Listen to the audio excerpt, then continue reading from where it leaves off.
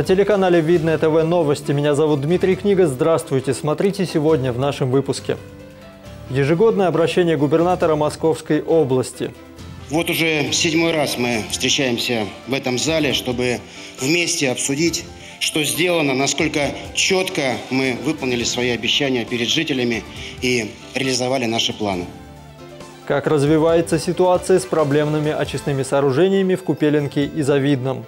На сегодня уже проложено, собственно говоря, в рамках этих поручений Андрея Юрьевича, э, значит, порядка 9 тысяч метров 400-го канализационного коллектора и более 2000 метров 630-го футляра.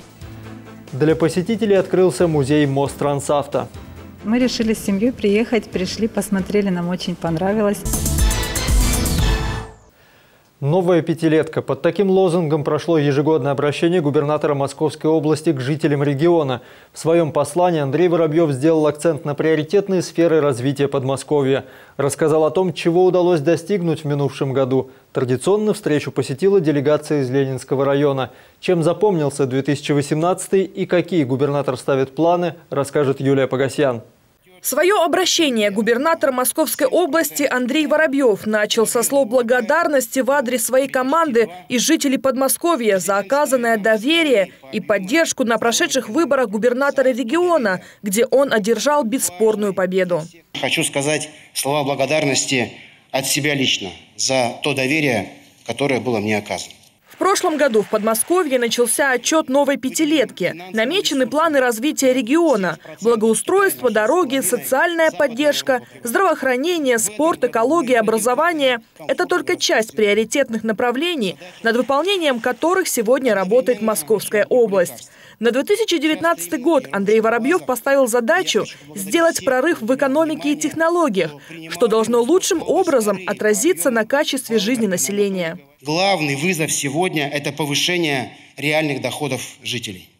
Это первое, о чем мы слышим на встречах с людьми. Это то, что подтверждают социологические данные. Для нас это означает развитие экономики и создание новых рабочих мест. Для меня уже третье послание. Я вижу, а, что команда а, губернатора работает, что все на местах нацелены на результат. А, везде жители участвуют в обсуждении всех тех решений, в том числе и по бюджетам. Приоритетность очень э, немаловажный вопрос. Открытость власти, как региональной, так и муниципальной, также в приоритете развития области. Подобные отчеты – один из способов общения с жителями. В своем ежегодном обращении Андрей Воробьев говорил не только о достижениях. Он указал и на недостатки, на которые стоит обратить внимание в первую очередь. Мы будем оперировать вот этими а, значит, заявлениями, о которых сказал Андрей Юрьевич, мы возьмем себе в работу, дополним своими конкретными значит, проектами, своими конкретными учреждениями, которые нам э, необходимо построить, дорогами, очистными сооружениями, коллекторами, канализационными станциями, для того, чтобы для себя сформировать также пятилетку. Большой вклад в развитие Московской области внесли ее жители. Благодаря порталу «Добродел» власти имеют возможность оперативно реагировать на проблемы. Сегодня в системе зарегистрировано более 800 тысяч пользователей. Также губернатор отметил важность продолжения традиции проводить различные форумы. Один из них «Сильное, здоровое, чистое» на прошлой неделе состоялся в Ленинском районе. Общественная палата Московской области нам недавно на прошедшем форуме подтвердила, каким образом будет будем э, вести общественный контроль. Так я понимаю, и в 2019 году, и в последующие мы будем в этих вопросах больше э, уделять внимание на медицину, экономику и экологию.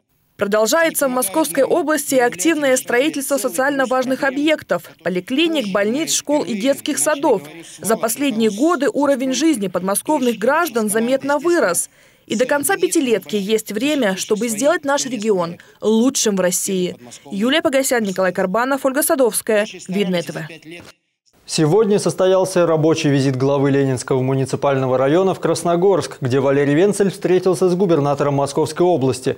Андрей Юрьевич Воробьев принял главу муниципалитета в своем рабочем кабинете. Здесь состоялся разговор о важных темах, волнующих жителей поселения района как решаются проблемы, которые мы обсуждали с жителями. Это прежде всего история с э, КНС, канализацией. которую мы должны были решить. И вторая тема, очень острая, это вижу по обращениям, это, конечно, транспортная ситуация.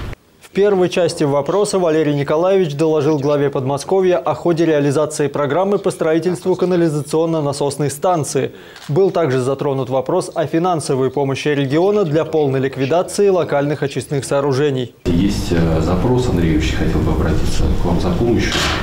Э, если одно КНС строит у нас застройщик, который в графике, и мы контролируем там ситуацию, то по второй э, КНС нужна финансовая помощь в размере 50 миллионов рублей. Губернатор обещал поддержать муниципальные власти и в вопросе строительства КНС, и в реализации стратегии развития транспортной инфраструктуры муниципалитета. В настоящее время направлена заявка в Министерство транспорта и дорожной инфраструктуры на выделение субсидии из бюджета региона. О проделанной работе в минувшем году отчиталось самое большое поселение Ленинского района – Булатниковское. Представители местной власти, руководители различных служб, старосты деревень, а также все желающие жители заслушали отчеты председателя Совета депутатов сельского поселения Булатниковское в ее же лице и главы поселения Ирины Дубровской, а также руководителя администрации Сергея Арчукова. Значительная часть встречи была посвящена ответам на вопросы местных жителей. Тему продолжим в нашем следующем сюжете. Желающих заслушать отчет руководства сельского поселения Булатниковское о проделанной за 2018 год работе оказалось немало. Здесь были представители всех структур, а также общественники, старосты деревень и поселков. Они-то и дали первую оценку прошедшему году, а также озвучили проблемы. Хорошо у нас год прошел. Единственное плохо, что нам газеты не дают. Это единственное. Дороги чистят отлично. Отлично. Но вот с мусором у нас все никак. Мусор. А что конкретно? Ну, мусор то одна компания, то вторая. Наша администрация уберет, уберет. Потом завал. А так все нормально. Фонари горят, вода есть, газ есть, телефоны есть. В этих нескольких словах суть самых важных потребностей людей. И именно на эти аспекты опирается руководство поселения и местные депутаты при планировании бюджета. Подробно о том, каким в цифрах был минувший год, рассказала в своем отчете председатель местного совета депутатов и одновременно глава поселения Булатниковская Ирина Дубровская. Бюджет был освоен на 90 с лишним процентов. И хотя он составляет менее 200 миллионов рублей, учитывая резкий прирост населения, средства старались распределить по уму, выделяя должные суммы на сферу ЖКХ, социальную политику, культуру и спорт. По разделу культуры и кинематографии в бюджете поселения утверждено э, и освоено 28 миллионов 437 тысяч рублей, исполнено 96%. Социальная политика – миллион 863 тысячи рублей, исполнено на 90%. По разделу физическая культура и спорт в бюджете поселения утверждено и исполнено 6 миллионов 475 тысяч рублей. Важным в деятельности Совета депутатов, по словам Ирины Дубровской, было решение о передаче полномочий поселения муниципальному органу местного самоуправления. Почему Совет поселения а, принял такое решение, передал полномочия? Думаю, что аргументами может служить следующее. Существенная экономия финансовых средств на содержание исполнительного аппарата для реализации полномочий. Администрация поселения, Совет депутатов – работает единой командой с коллегами районной администрации, что также способствует эффективности этой работы. В 2018 году в местную администрацию поступило более 200 обращений граждан. Каждое, по словам следующего докладчика, руководителя администрации сельского поселения Булатниковская Сергея Арчукова, было рассмотрено. Стоит отметить, что ежегодно в Булатниковском сдаются новые дома, а значит численность населения растет. Это самое большое поселение, которое уже сложно назвать сельским, ведь на его территории 184 многоквартирных дома. В прошлом году по губернаторской программе было отремонтировано 72 два подъезда. А вот с ремонтом 11 домов, которые также стояли в плане, пришлось повременить до 2019 года. Причиной тому стало расторжение договора с генеральным подрядчиком, который не исполнил свои обязательства. Но жизнедеятельность поселения – это и множество, казалось бы, мелких, но необходимых деталей. Установка новых светильников – 45 штук. Устранены короткие замыкания на 18 адресах. Выровнено две опоры уличного освещения подвешено 1549 метров нового самонесущего изолированного провода. Учитывая, что в поселении много водоемов и зеленых зон, большое внимание здесь уделяется безопасности. Произведена противопожарная опашка населенных пунктов. Проведено обслуживание и содержание пирсов в селе Булатниково, деревне Суханово, деревне Жабкино. Приобретено противопожарное имущество для добровольных пожарных дружин. Изготовлены и распространены листовки по правилам пожарной безопасности. Планах на 2019 год стоит много важных задач, главной целью которых является обеспечение качественной жизни на территории поселения. Глава Ленинского района, который дал положительную оценку работе местной администрации за минувший год, отметил, что необходимо добиться того, чтобы социальные объекты вводились вместе с жильем и решались поставленные задачи по транспортной доступности. Самая основная проблема – и самый главный вопрос, который мы будем решать в 2019 году, это вопрос, связанный, связанный со строительством и расширением дорог. И э, в середине февраля, да, Сергей Анатольевич, в середине февраля у нас будет э, вводиться в эксплуатацию наш э, значит, мостовое сооружение, так называемый путепровод, который связывает два микрорайона, уже ставшими достаточно большими, Боброво и Дрожжино. В течение всей встречи в президиум поступали вопросы от местных жителей. Они касались разных сфер – здравоохранения. Люди ждут, когда же будет работать фельдшерско-акушерский пункт в Булатникове. Экологии, чистка Бицевского пруда не проводилась в течение долгих лет. Строительство канализационной насосной станции, на которую пока нет средств. А также вопрос сноса аварийного клуба на территории деревни Лопатина. Вот, э, скажем так, э, эту территорию есть ряд предложений э, по ее освоению. Ну да, вот, как бы... Коллеги, давайте так. Вот руководитель администрации пожарное депо. Депутаты говорят детскую площадку. А суть-то она другая. Суть она в другом. Надо снести, чтобы туда дети не бегали. Потому что уже год прошел, ВОЗ не там. По каждому вопросу прошло обсуждение и вынесены решения дальнейших действий. Завершилось большое мероприятие на позитивной ноте. Лучшие в своей трудовой деятельности жители поселения были награждены почетными грамотами главы муниципалитета, Совета депутатов района и главы сельского поселения Булатниковская. Татьяна Брылова, Егор Хлябич, Ольга Садовская, Видное ТВ. В конце августа в микрорайоне Купеленко начались работы по прокладке коллектора до центральной канализационной станции города Видное на Старонагорной улице. В настоящий момент эти работы завершены, а на двух проблемных очистных сооружениях в микрорайонах Купеленко и Завидное скоро начнется возведение канализационно-насосных станций, которые полностью решат проблемы жителей. На объектах побывал наш корреспондент Максим Козлов. Теперь уже многие жители микрорайона Эковидное знают расшифровку аббревиатуры КНС – канализационно-насосная станция. Их возведение призвано решить проблему стоков в новых микрорайонах, а очистные сооружения закроют. В июле прошлого года э, был сверстан некий план организационно-технических мероприятий на основании поручения губернатора Московской области Андрея Юрьевича Воробьева. По на сегодня уже проложено, собственно говоря, в рамках этих поручений Андрея Юрьевича э, значит, порядка 9 тысяч метров 400-го канализационного коллектора и более 2000 метров 630-го футляра.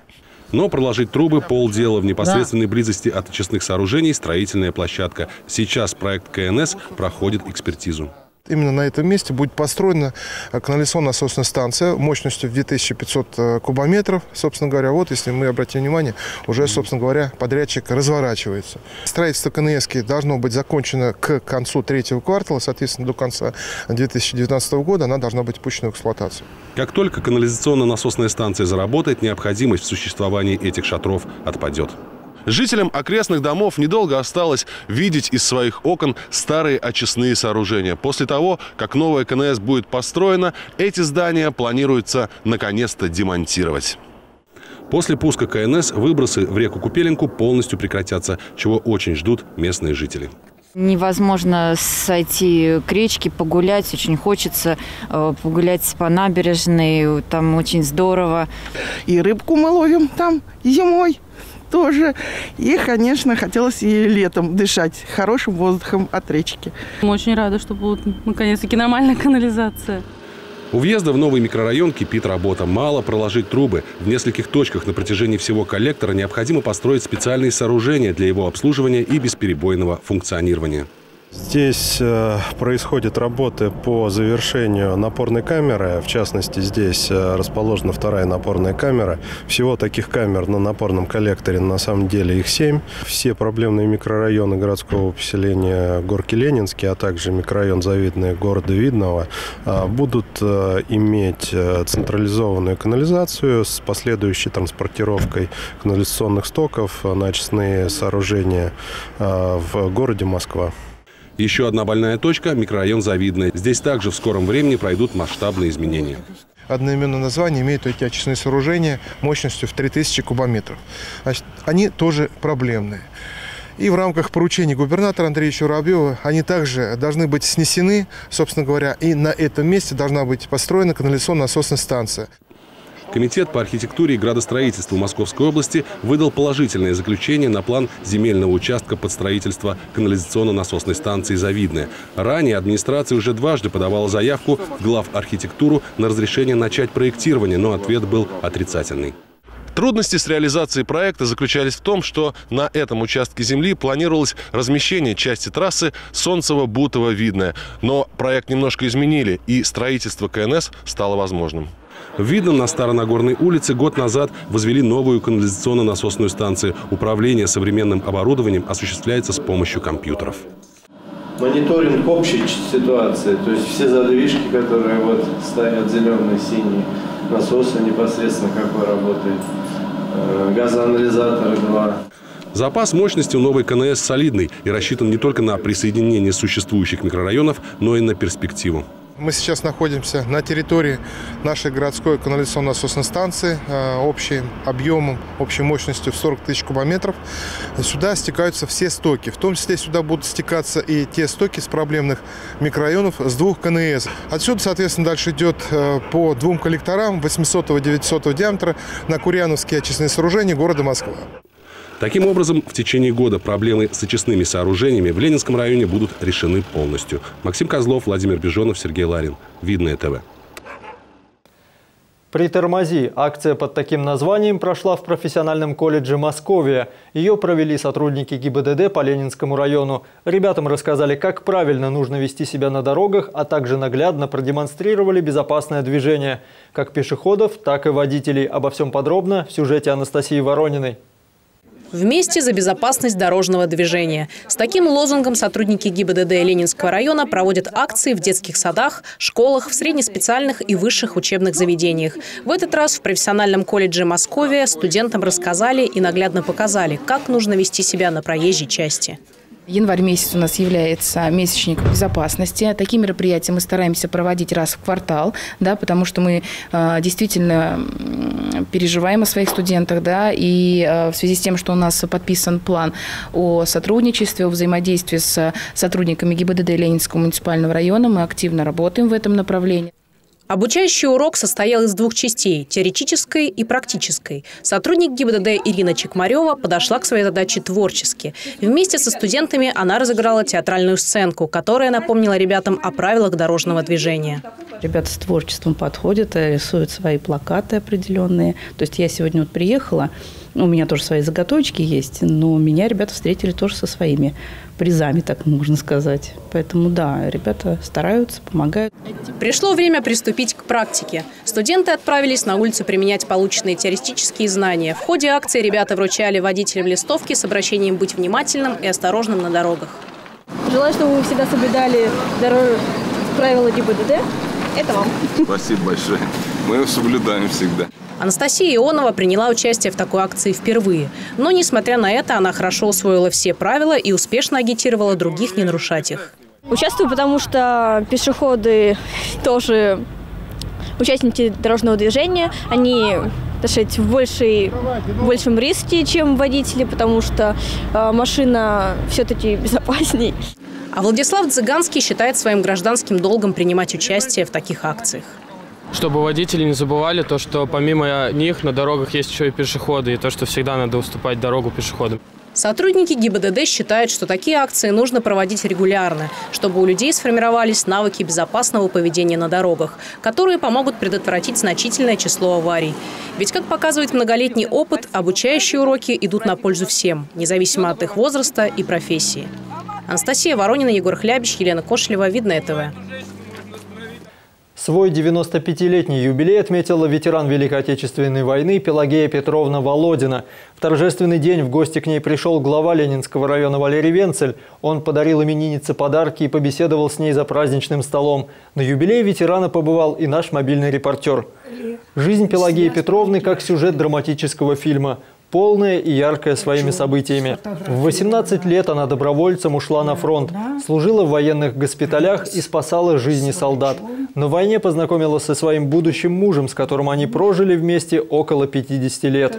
Война началась, я еще училась в медицинском училище. Э, после окончания училища нас целиком курс распределили по госпиталям и воинским частям. Я попала в госпиталь, который был расположен в городе Балашове. Это э, фронт находился под Сталинградом и Воронежем. Ну, Пелагея Петровна показала свои фотографии, сделанные в молодости. А после к ней на день рождения пришел в гости глава Ленинского района Валерий Венцель. Он тепло поздравил ветерана с днем рождения, передал подарки и зачитал поздравительное письмо от президента Российской Федерации Владимира Путина. Вы с честью прошли через тяжелейшие испытания Великой Отечественной войны. Своим трудом создавали богатство и мощь нашей страны и через годы несете любовь к Родине, веру в правое дело. Подвиг вашего поколения, поколения победителей, будет жить в веках, объединять наш народ во имя больших созидательных целей – Желаю вам бодрости духа и благополучия. Президент Российской Федерации Владимир Путин. За праздничным столом Пелагея Петровна рассказала Валерию Николаевичу о военных годах, своей большой семье и более чем 30-летней работе врачом в психиатрической больнице номер 24 в городе Видное. По словам юбиляра, она всегда рада гостям, а такое трепетное внимание с их стороны для нее очень ценно. На территории Видновского пассажирского автотранспортного предприятия для посетителей открылся музей Мострансавто «История и современность». До недавнего времени попасть в него могли лишь сотрудники предприятия. И вот теперь полюбоваться уникальными экспонатами и прикоснуться к истории на колесах может любой желающий. И при том совершенно бесплатно. Оценила экспозицию и наша съемочная группа. Музей Видновского пассажирского автотранспортного предприятия был основан в далеком 2001 году. Тогда экспозиция состояла всего из трех легковых машин и автобуса ЛиАЗ-158. Сейчас в музее насчитывается около 40 ретро-автомобилей. Удивительно, но все машины на ходу. Достаточно залить бензин, поставить аккумулятор и можно отправляться в путь. Выезжали обычно на День города. День города и День Победы. Даже вот на ЗИС-5 мы поставили сиденье от списанного автобуса, который возили ветеранов Великой Отечественной войны. Самые старые экспонаты музея ЗИС-5 1937 года выпуска, ГАЗ-АА «Полуторка» 1939 года и ГАЗ-1173, произведенный годом позже. Последний, именуемый в народе «Эмка», поистине жемчужина коллекции музея. Всю войну на ней возили маршала Георгия Жукова. С каждым автомобилем связано немало интереснейших историй, и «Эмка», конечно же, не исключение. Маршал в свое время объезжал фронт и застрял в снегу. А ехал грузовик, водитель вел машину, который вез снаряды, боеприпасы, снаряд. Его остановили, чтобы он вытащил ее. Он вышел, обошел вокруг той машины, попросил водителя выйти, сел и выехал сам. И вот он его взял потом к себе водителем. После войны Жуков подарил машину своему водителю. Тот через какое-то время продал МК коллекционеру, у которого затем автомобиль и выкупил Мострансавто. Кстати, у него же приобрели и ГАЗ-АА. Полуторка тоже помнит Великую Отечественную войну. Именно на ней возили по знаменитой дороге жизни на Ладожском озере продовольствие и боеприпасы в блокадный Ленинград. Во втором зале музея помимо уникальных документов разместилось более 700 экспонатов, так или иначе связанных с историей существования Видновского ПТП.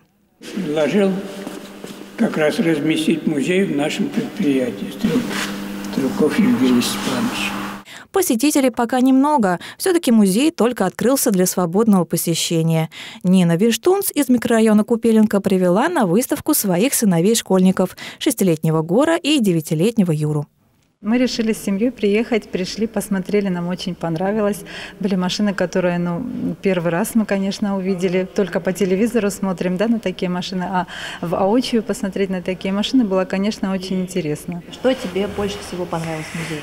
Исторические машины я такие никогда не видел. Исторические, которые прошли войну. Экспозиция открыта для индивидуального посещения и групп до 25 человек по вторникам и четвергам с 12 до 15 часов. Записаться можно по телефону 8 963 722 67 25. Екатерина Борисова, Владимир Бежонов, Елена Кошелева, Видное ТВ. И о погоде. Завтра ожидается снег с дождем, днем и ночью в районе 0 градусов. Ветер южный 4 метра в секунду. На сегодня это все. Желаю вам только хороших новостей. До свидания.